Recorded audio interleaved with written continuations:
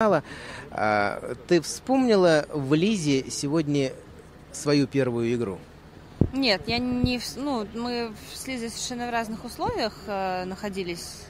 И к своей первой игре я уже много лет капитанила в спортивной версии что где когда. Во-первых. А во-вторых, Лиза гораздо более сильный игрок, чем я как игрок, поэтому э, мне, возможно, капитане чуть легче, потому что э, я не так... Э, и мне, накидываешь мне, версии. Да, мне не так много нужно фильтровать из своей головы для обсуждения. То есть я могу капитанить гораздо спокойнее в этом смысле. И это ей помешало?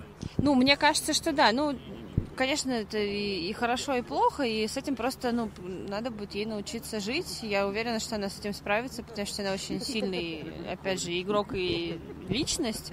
И, конечно, это очень тяжелое испытание, но я уверена, что оно, ну, на пользу. То есть, если бы они сейчас сели на каких-нибудь простых вопросах легко выиграли, это бы, наверное, мало что могло дать, а так, мне кажется, это очень потенциально хорошая команда, сильная, и, не знаю, я не совсем согласна, что с Денисом Казанцевым, что... Казанским. Казан... Да, пардон.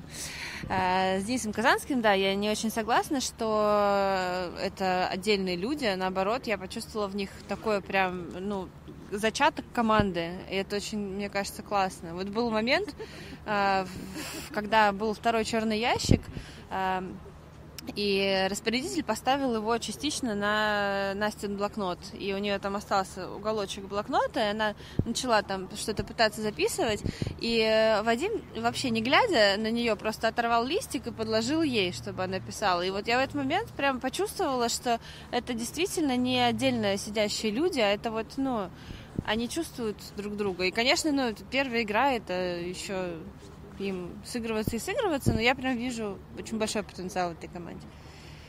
Ален, а от чего зависит? Вот кто-то сегодня проявился, как Вадим, да, как э, кто-то нет, как Денис, например, Элькис, да? Э, вот э, то, что Вадим сегодня проявился, по твоему опыту, скажи, это значит, что он и дальше будет ярко играть? Это значит, что он в этой конкретной игре почувствовал себя более свободно и был какой-то вопрос, с которым у него случилось какое-то вот совпадение. Ну, мне кажется, это ровным счетом ничего не значит, и э, сила игрока никак не коррелирует с э, его проявлением или непроявлением на играх. Ну, то есть, там, не знаю, на моей последней игре, например, Максим Петашов не блистал, но мы же не будем говорить, что он от этого перестает быть великим игроком. Денис Лагутин в твоей команде вообще не блистал.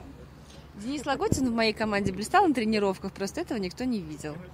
Но видишь, какого мы прекрасного игрока подготовили для команды Мухина. Я очень счастлива, на Он самом деле. рассчитался Мухина? Еще нет, кстати.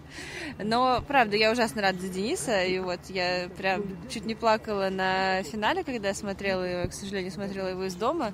Но это было потрясающе. То есть я действительно очень рада, что Денис наконец-то заиграл так, как он может это делать, потому что я э, не знаю, что мешало ему играть так у нас но вот... вот. Спасибо, Ален.